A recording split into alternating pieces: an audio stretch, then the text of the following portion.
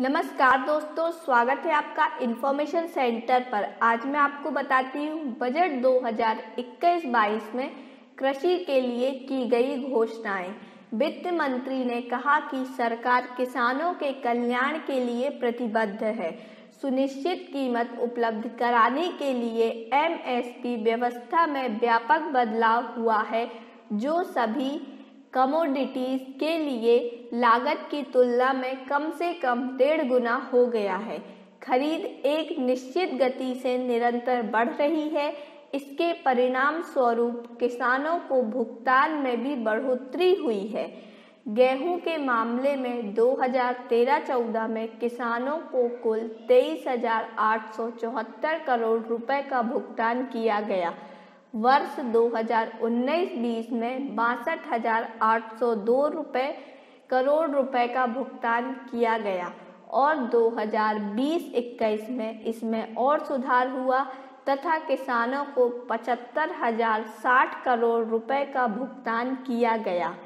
इससे लाभान्वित होने वाले गेहूँ किसानों की संख्या 2020-21 में बढ़कर तैतालीस दशमलव तीन छः लाख हो गई, जो 2019-20 में पैंतीस दशमलव पाँच सात लाख थी। धान के लिए 2013-14 में तिरसठ हज़ार नौ सौ अट्ठाईस करोड़ रुपए का भुगतान किया गया। 2019-20 में यह वृद्धि एक लाख इकतालीस हज़ार नौ सौ तीस करोड़ रुपए थी। वर्ष 2020-21 में यह और सुधर कर एक लाख बहत्तर हज़ार सात सौ बावन करोड़ रुपए हो गई। इससे लाभान्वित होने वाले धान किसानों की संख्या 2020-21 में बढ़कर एक दशमलव पाँच चार करोड़ पर हो गई, जो संख्या 2019-20 में एक दशमलव दो चार करोड़ थी। इसी प्रकार कपास के किसानों की प्राप्तियों में तेज़ी से बढ़ोतरी हुई, जो 2013-14 की 90 करोड़ रुपए से बढ़कर पच्चीस हज़ार नौ सौ चौहत्तर करोड़ रुपए 27 जनवरी 2021 के स्तर पर पहुँच गई।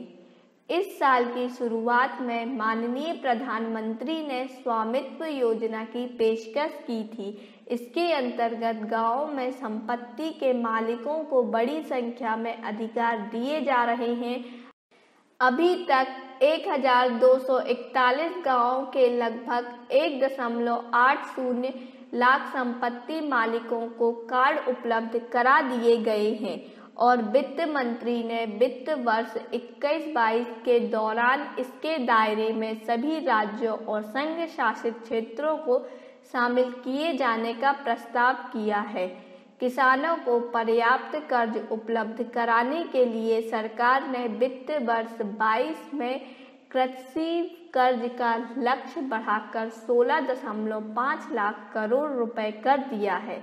इसी प्रकार ग्रामीण अवसंरचना विकास कोष के लिए आवंटन तीस हज़ार करोड़ रुपए से बढ़ाकर चालीस हज़ार करोड़ रुपए कर दिया है।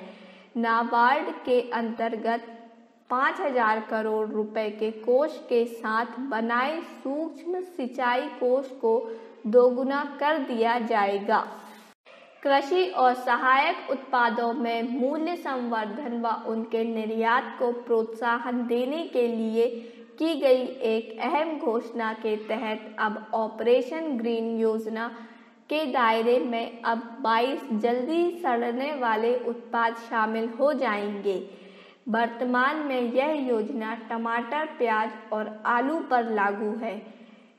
ई नेम्स में लगभग एक दशमलव छः आठ करोड़ किसान पंजीकृत हैं और इनके माध्यम से एक दशमलव एक चार लाख करोड़ रुपए का व्यापार हुआ है। पारदर्शिता और प्रतिस्पर्धा को ध्यान में रखते हुए ई नेम को कृषि बाज़ार में लाया गया है।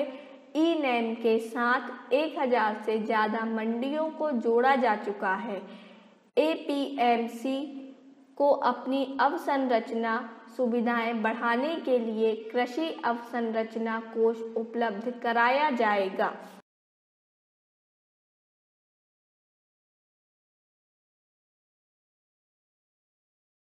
हमारे इस वीडियो को एंड तक देखने के लिए आपका बहुत बहुत धन्यवाद। आपको हमारा ये वीडियो कैसा लगा, हमें कमेंट बॉक्स पर कमेंट कर ज़रूर बताएँ। और जो इस चैनल पर नए हैं, वह हमारे चैनल इन्फॉर्मेशन सेंटर को सब्सक्राइब कर लें। आप हमारे वीडियो को लाइक एंड शेयर ज़रूर करें। धन्यवाद।